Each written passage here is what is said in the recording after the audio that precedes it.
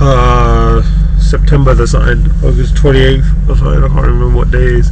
Started off from cold, yeah, you can see that little brake sensor there, ABS light sensor.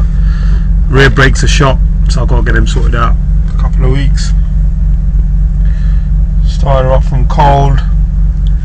Know if you can see all that moisture there coming from the exhaust. She loves it. Yeah, look at this man. All quite original. Well, obviously apart from the stereo and the Clifford alarm there, but no real major damage and stuff around this area apart from this crack. So I'm looking again at that little piece replaced there. Um, chewing gum keep your breath fresh. It's got this, even this gate here is original.